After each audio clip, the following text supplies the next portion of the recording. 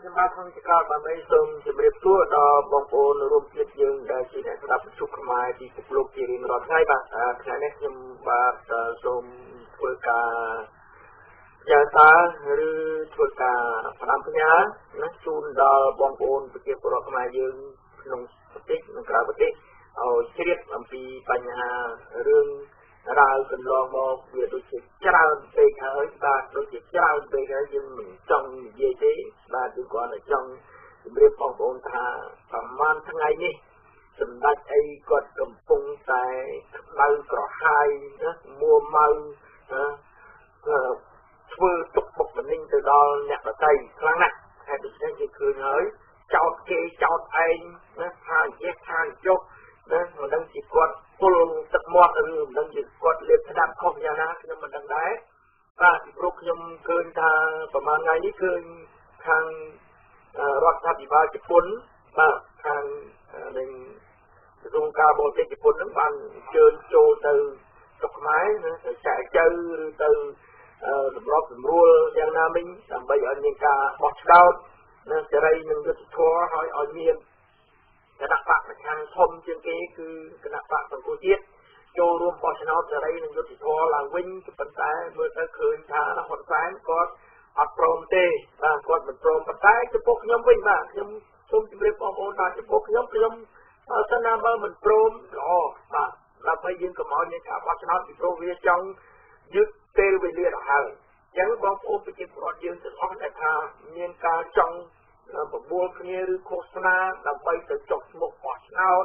អីឬសូថាកោជបអីលោកចាក់បន្ហុកតែជាយួនកន្តោបបោកកន្តិនហ្នឹងដែលគាត់ខឹងសបាថាលោកចំទាំងទីអំពាវនាវស្រែកថាមិនអោយបងប្អូនប្រជាពលរដ្ឋខ្មែរយើងទៅចូលរួមបោះឆ្នោតទេនោះអានោះគឺជារឿងរបស់នៃកោជបចោះប៉ុន្តែយើងដឹងហើយថាបោះឆ្នោតទុកបីយ៉ាងណាក៏ដោយ យើងបោះឆ្នោតមិនឈ្នះគណៈបកប្រជាជនទេបាទបើអត់មានការបោះឆ្នោតសេរីនិងយុត្តិធម៌ដូចឆ្នាំ91ទេយើងអត់ឈ្នះទេបាទយើងអត់ឈ្នះទេអញ្ចឹងខ្ញុំសូមជម្រាបដល់បងប្អូនប្រជាពលរដ្ឋខ្មែរយើងថាយើងអត់មានការបោះឆ្នោតនៅឆ្នាំ2018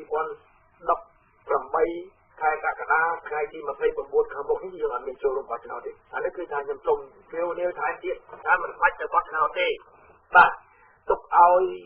គណៈបក ប្រជាជនគាត់ធ្វើការបោះឆ្នោតជាមួយគណៈបកតូចតាចនឹងតើអន្តរជាតិគេទទួលស្គាល់ឬមិនទទួលស្គាល់អានឹងជារឿងមួយយើងចាំមើលតទៅទៀតប៉ុន្តែខ្ញុំឃើញប្រហែលថ្ងៃនេះគឺហ៊ុនសែនដូចជាមួម៉ៅក្តៅក្រហាយខ្លាំងណាស់តើចោតគេចោតឯងណាបានលើដំណឹងមួយថានៅសំដងទីទៅជប៉ុនដើម្បីទៅចរចាទៅចែកចៅជាមួយជប៉ុនឲ្យមានការដោះលែងប្រធានគឹមសុខាលក្ខណៈហ្នឹង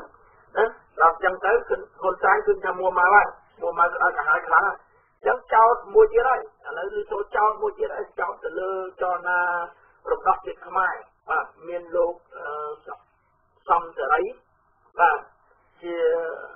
ប្រធាននៅក្នុងនោះបាទហើយចោតថានៅថ្ងៃទី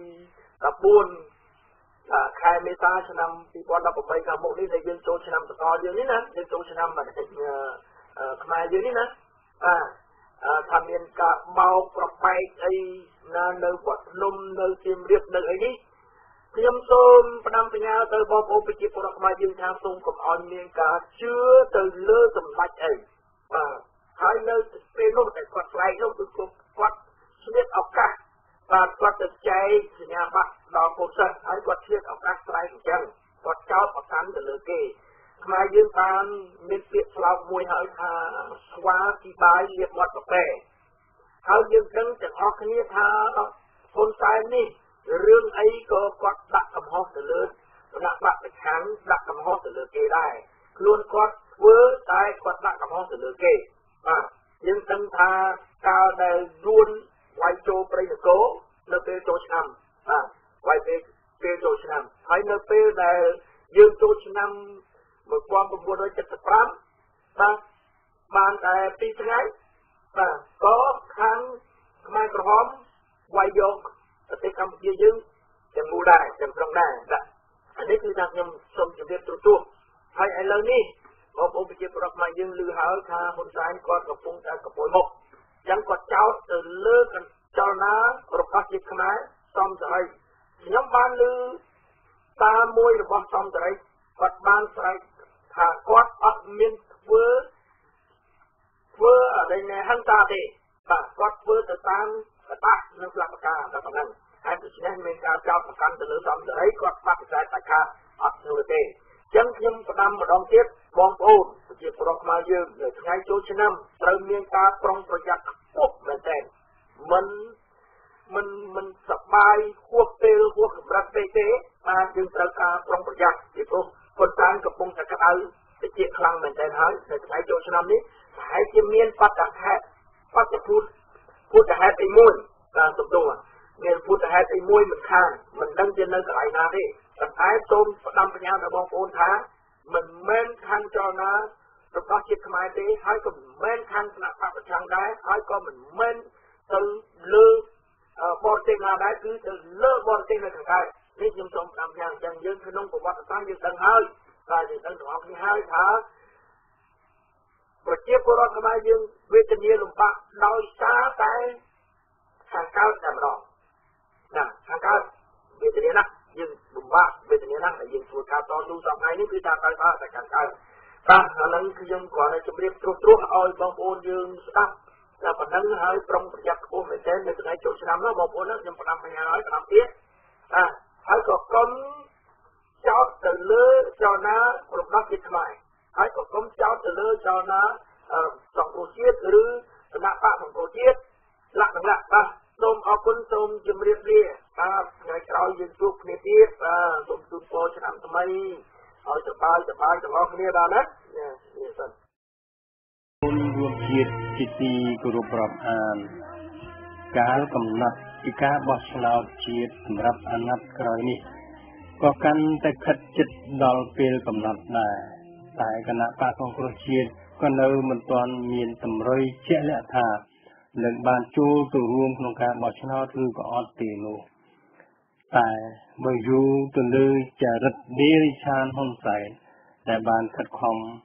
ប្រើគ្រប់មធ្យោបាយដ៏ថោកទាបសពបែបយ៉ាងដូចជា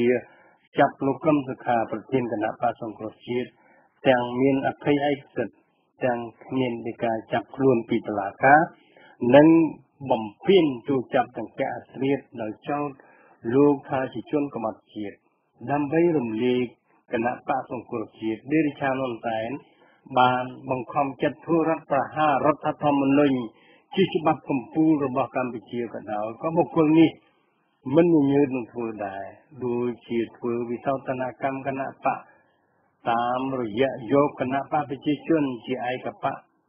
ក្នុងការរំលាយគណៈបកសង្គ្រោះជាតិដោយប្រើតុលាការជាឈ្នន់នៃគណៈបកប្រជាជន គឺចៅក្រមដែលជាបកកិជននៃគណៈបកប្រជាជនឬហៅថាអតីតក្រមខ្មែរយើងនេះមកសម្រេច កាត់ក្តីរំលាយគណៈបកសង្គ្រោះជាតិនិងដាក់បញ្ញត្តិមិនឲ្យមន្ត្រីជាន់ខ្ពស់118រូបធ្វើនយោបាយក្នុងរយៈពេល5ឆ្នាំទៀតយើងសួរថាតើនារីឆានហ៊ុនសែនមានសិទ្ធិអំណាចអ្វី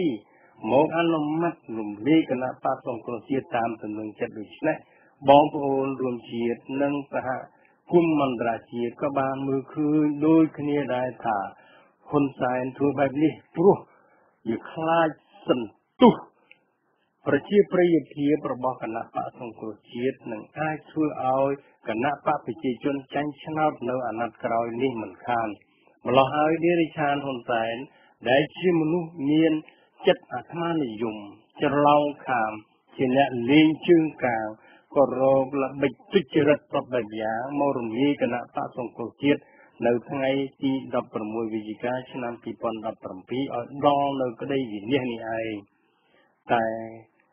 ការពិតគណៈបកសង្គ្រោះជាតិរលាយឈ្មោះតែនៅលើក្រដាស់ទេឯការពិតជាក់ស្ដែងព្រលឹងនៃគណៈបកសង្គ្រោះជាតិបានកប់ជាប់ទៅក្នុងបេះដូងប្រជាពលរដ្ឋខ្មែរជាងមួយជំហានប្រទេសទៅហើយនិងជាហេតុធ្វើឲ្យដេរិឆានហ៊ុនសែនដេកមិនលក់ នៅក្នុងស្ថានភាពដ៏ចម្រូងចម្រាសដែលកណ្ដេរិឆានហ៊ុនសែនបានខំរំលាយគណៈបកសង្គ្រោះជាតិដ៏សាហាវ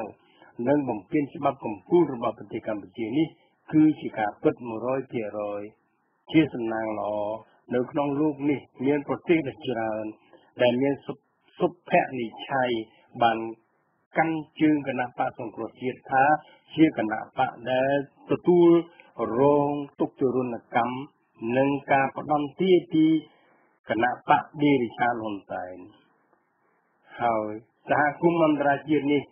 មានសភានៃប្រទេសទាំង170នៃប្រទេសហៅ IPU សហជាតិអឺរ៉ុបអង្គការសហប្រជាជាតិ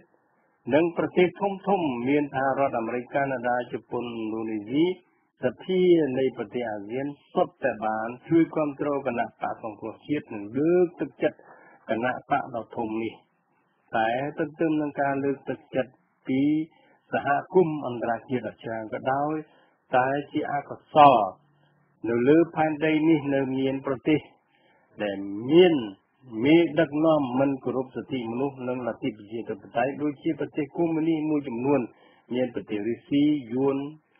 កូរ៉េខាងជើង និងចិនដីគោកហើយនៅក្នុងចំណោមប្រទេសកុម្មុយនីសទាំងនេះមាន ប្រទេសចិនដីគោកនេះបានមកជួយគ្រប់គ្រងដេរិឆានហ៊ុនសែនយ៉ាងពេញមុខដែលជាហេតុធ្វើឲ្យដេរិឆានអតីតនៃខ្មែរក្រហមនេះឡើងចាងលែងស្ដាប់មតិអន្តរជាតិនិងប្រទេសសេរីនានាក្នុងលោកនេះក៏តែសោះភាពរឹងតឹងរបស់ដេរិឆានហ៊ុនសែន មើលមិនឃើញពីផ្លូវសម្រោះសម្រួលជាមួយគណៈបកសង្គ្រោះជាតិតតែសោះគឺមានតែទិដ្ឋិមានះរឹងតឹងយកឈ្នះលើគណៈបកសង្គ្រោះជាតិដោយល្បិចកលដ៏ទៀតថោកក្រោមការឧបត្ថម្ភពីប្រទេសចិនកុម្មុយនីសតែប៉ុណ្ណោះសូមបងប្អូនពិចារណាលើពាក្យសម្ដីរបស់ដេរីឆានហ៊ុនសែនដែលបាននិយាយអង្វរពលករនៅរោងចក្របាវិត ថ្ងៃទី9ឧសភាមើល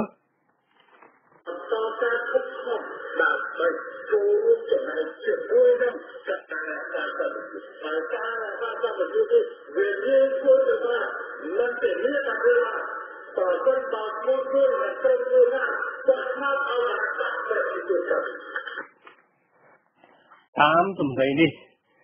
បញ្ជាក់ឲ្យឃើញថាដេរិឆានហ៊ុនសែន មានការផិតភ័យខ្លាំងទើបអង្គវកកម្មករនៅតាមរោងចក្រឲ្យជួយបោះឆ្នោតឲ្យគណៈបកខ្លួននោះលើសពីនេះដេរិឆានហ៊ុនសែនបានចំណាយប្រាក់ដ៏ច្រើនដើម្បីសូកទឹកចិត្តកម្មករនិងការខុបខិតជាមួយនឹងថៅកែរោងចក្របង្ខំឲ្យកម្មករត្រូវតែចេញមកទទួលស្វាគមន៍ហ៊ុនសែន បើកម្មករណាមិនព្រមធ្វើតាមទីនឹងទទួលនៅទុក្ខវិបាកគ្រប់បែបយ៉ាងនេះបញ្ជាក់ឲ្យឃើញថាឆ្កែក៏ទុយគ្វៀននៅតែគ្វៀនមិនអាចលាបានដាច់ខាតឬមួយរបៀបចាស់លោកថាត្រកូលសជាតិនិយាតតពូជដូច្នេះមនុស្សពីលដោយនិយាយថានំតែនេះមិនអាចកែចរិតបានដាច់ខាត ចំពោះ សម្ដីរបស់ដេរិឆានហ៊ុនសែនអង្គកកម្មករនៅបវត្តឲ្យជួយបោះឆ្នោតឲ្យគណៈបកប្រជាជននេះលោកសំរងស៊ីក៏បានរំលឹកដាស់តឿនឲ្យប្រជាពលរដ្ឋយល់អំពីល្បិចបោកប្រាស់របស់ហ៊ុនសែនដែលមានសេចក្តីថាតែនិយាយតែពីរឿងសន្តិភាពខ្លាំងខ្លាយរបស់គាត់ពីសន្តិភាពក្នុងខ្មោចសន្តិភាពជាសកលសន្តិភាពក្រោមការជាសង្កត់របស់គាត់គឺតែប្រ ជារាស្ត្ររងគ្រោះស្រេចយំបាត់ដីធ្លីគេលួចប្រាក់ខែគេបង្ផាត់គ្រប់សពគ្រប់បែបយ៉ាងទាំងអស់និងគាត់ទៅនិយាយនេះការងារធ្វើប្រជារាស្ត្រចំណាក់ស្រុករាប់លានអ្នកទៅស៊ីឈ្នួលគេនៅប្រទេសជិតខាង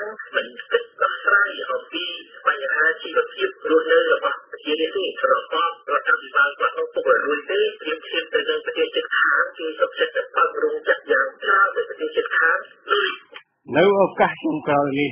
បងប្អូនអាចវិនិច្ឆ័យទៅលើបុគ្គលិកលក្ខណៈរបស់មេដឹកនាំទាំងពីរនេះបានហើយថាតើមួយណាបានគិតពីប្រទេសជាតិមាតុភូមិហើយមួយណាដែលគិតតែប្រយោជន៍ដល់ខ្លួនដោយពីសប្តាហ៍មុនខ្ញុំបានជូនជាមធ្យោបាយជួយមេដាកម្ពុជាយើង មានតែផ្លូវមួយទេគឺបងប្អូនរួមជាតិខ្មែរលោកគ្រប់ស្រទាប់ឋានៈត្រូវតែរួបរวมគ្នាទម្លាក់នារីឆានុនសែនកុំឲ្យបានកាន់អំណាចតទៅទៀតបើបុគ្គលនេះ នៅតែកាន់អំណាចមួយអាណត្តិទៀតមេដាកម្ពុជាយើងនឹងរលំរលាយឬក៏អាចធ្លាក់ទៅក្រោមមហាអំណាចកុម្មុយនីសដោយសម័យប៉ុលពតចំនួន 3ឆ្នាំ8ខែនិង20ថ្ងៃនោះម្ដងទៀតមិនខានឡើយដូច្នេះនៅក្នុងនេតិខ្មែរក្រោកឡើងនេះខ្ញុំសូមអង្វរបងប្អូនប្រធានចាំមើលថាបើគណៈបកសង្គ្រោះជាតិមិនមានវត្តមាននៅក្នុងបញ្ជីបោះឆ្នោតជាតិនៅក្នុងខែកក្កដានេះទេសូមបងប្អូនរួមជាតិទាំងអស់គ្នាធ្វើពហិការ កុំទៅបោះឆ្នោតគ្រប់គ្រងគណៈបកប្រជាជនឬគណៈបកណាមួយឲ្យសោះព្រោះគណៈបកណាមួយឈ្នះក៏ដោយក៏ដេរិឆានហ៊ុនសែនវាមិនឲ្យឈ្នះដាច់ខាតនៅត្រង់ចំណុចនេះបងប្អូនទាំងអស់ហើយខ្ញុំមិនបាច់បកស្រាយទេតែបើបងប្អូននៅតែមានអ្នកមិនព្រមយល់ពីមហាគ្រោះថ្នាក់របស់ជាតិយើងនេះទេយើងទាំងអស់គ្នានិងមេតាកម្ពុជាយើងនឹងត្រូវចប់ហើយ សូមបងប្អូនចងចាំថាសម័យនេះជាសម័យគ្របលិចអំបែងអណ្ដែតដូច្នេះផ្លូវមានតែមួយគឺយើងត្រូវតែធ្វើឲ្យអាពូជអំបែងនេះវាលិចទៅបាតដាល់ទើបជាតាកម្ពុជានឹងយើងជាកូនចៅខ្មែរអាចមានជីវិតរស់នៅលើមាតុភូមិកំណើតរបស់យើងគ្រប់គ្រប់គ្នាបាន ពីសម្បត្តិជាតិអង្គការវិទ្យុខ្មែរពិភពលោករៀបរៀងជូនបងប្អូនស្ដាប់ពីរដ្ឋមីនីសូតាសហរដ្ឋអាមេរិកដោយសេចក្តីគោរពរាប់អាននិងគំនិតស្មោះសូមអរគុណនិងសូមជម្រាបលា